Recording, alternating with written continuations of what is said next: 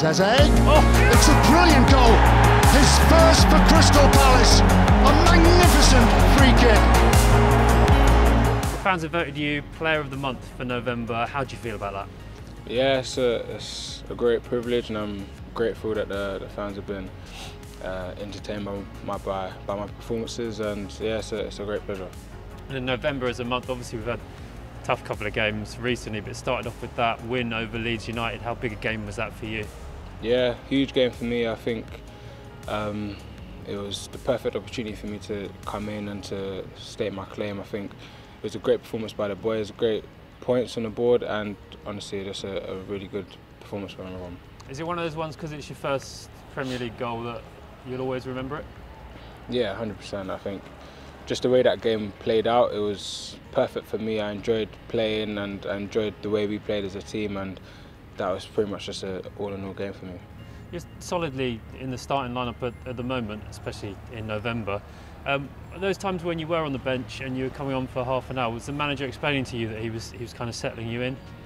Yeah, it was, it was clear from yeah. Obviously, we speak quite a bit, and it was clear that it was just an idea of waiting for the right time to, to come in and to to play and bedding me in slowly, but not forcing me into any type of uncomfortable situation. So it was more just easing my way into it, which was I think has been important for me for my development. How long did it take you to settle in with the, the teammates here at Palace?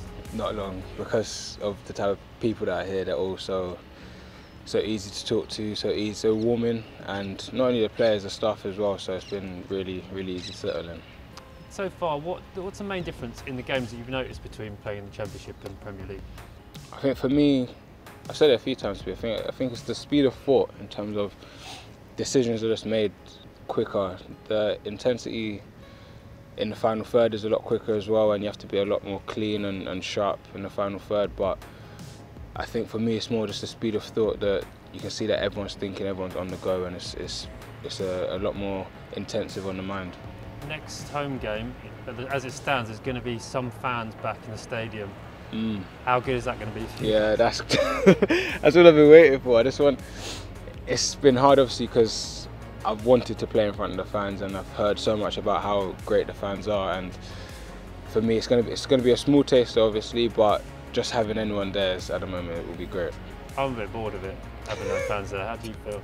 The same. It's it's not easy because you can imagine what the stadium would be like with all the fans, but I guess it is what it is at the moment. But as slowly as they're coming in, that that's it's great for, for all of us, I guess.